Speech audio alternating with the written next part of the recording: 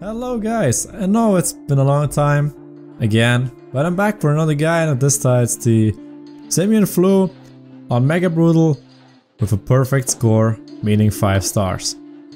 The Simian Flu of course based on the very famous movie Planet of the Apes and it's special in a way that you have to basically play two games at once. First you have to do the whole thing with the apes and then transmit it to humans. But I'll show you everything step by step and how you can beat it guaranteed. The strategy is basically very simple. You try to build a foundation, so infecting a lot of apes, then you try to infiltrate pretty much every country we can, so that you have apes all around the world, then you press a rep button and transmit it to humans, and that's when shit hits the fan. And you want them to be overwhelmed, just like in the movie.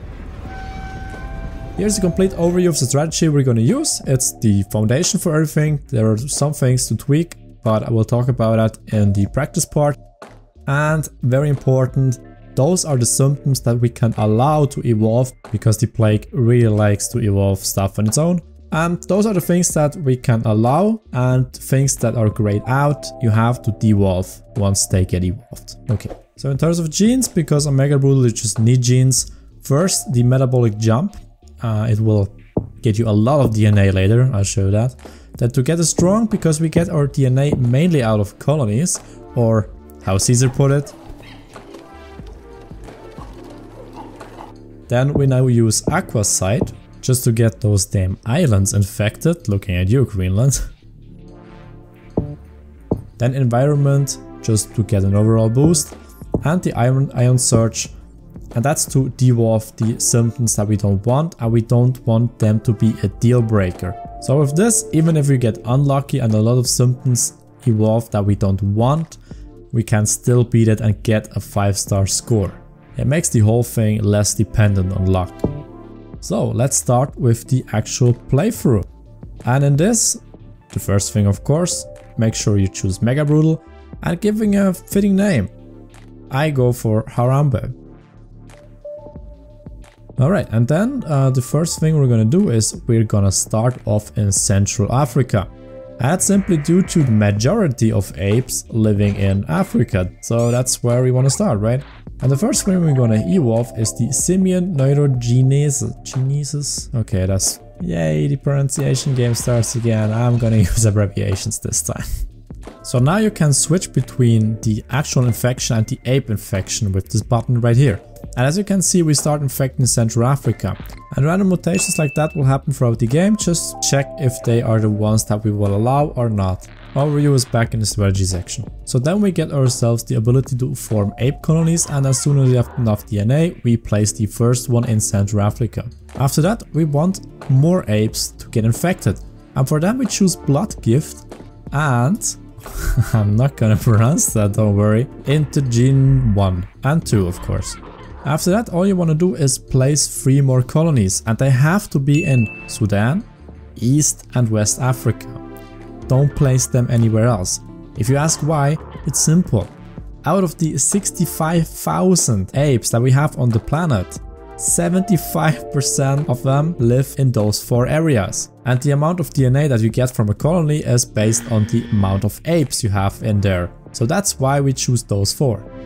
Again, watch every symptom that evolves and then we go for cognitive shift and education. This will further boost the amount of DNA that we get out of those colonies. So we've just built some massive DNA farms. You're gonna see that later. The next thing is we want to spread to other countries and continents. That's why we go for organized travel, logistic and seafair. That allows our apes to cross the oceans without dying in most cases.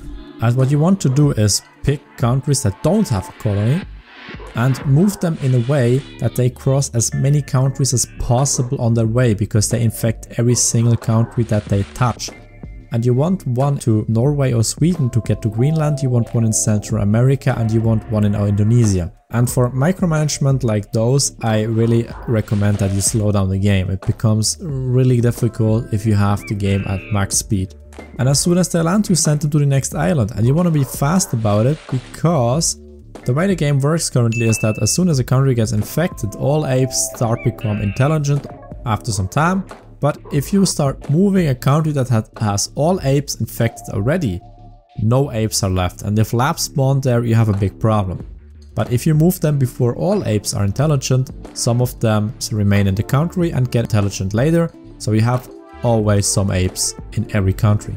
Then we place our fifth and last colony in Indonesia, because there are a ton of apes, so ton of DNA for us. And while you keep micromanaging the island infection or spread, you have to evolve the war paint tree, and that's just so that we are more disguised and don't get attacked as frequently and as early.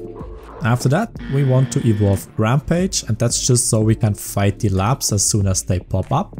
And then we're pretty much settled. Now we evolve Cold 1, Cold 2, Med 1, Med 2, Genetic Hardening 1 and 2 and that takes some time, don't worry, it, it easily costs around 300 DNA, so that's gonna take a while. But after you have done all of that, the next thing is gonna be priceless. Because this thing here is just like a red nuke button, and usually you're not allowed to press those buttons. But in this case, as soon as you've enough DNA, Batista bombed that thing and immediately pause the game. You can't click as fast as those bubbles will pop up. So what happens here is basically every single country that we have apes present get infected.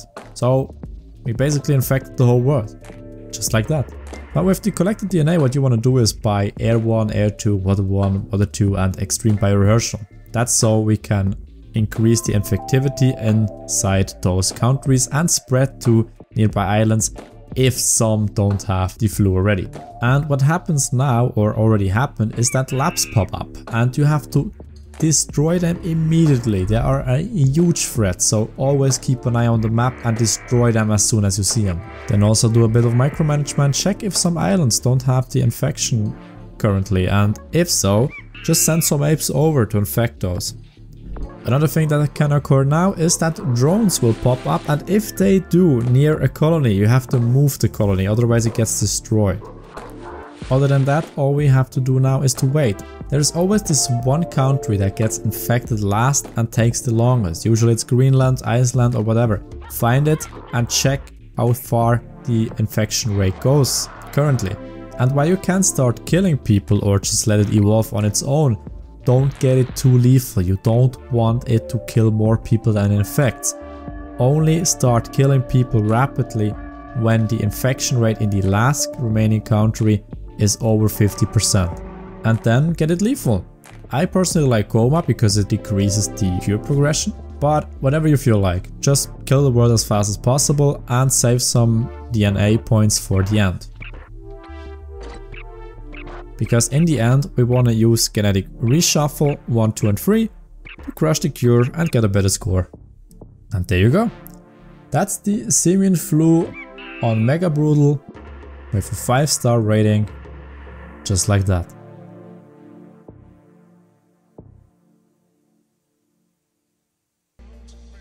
And as always guys, thanks for watching. Leave a like if you liked the video, I would really appreciate it. It was ton of work to make. It was probably the biggest guide in Plague Inc. I did till now. Tell me in the comment section how it went, or if you have questions also, I'm gonna answer them. And if you wanna see more, of course, sub to the channel. And see you on the next one. Take care.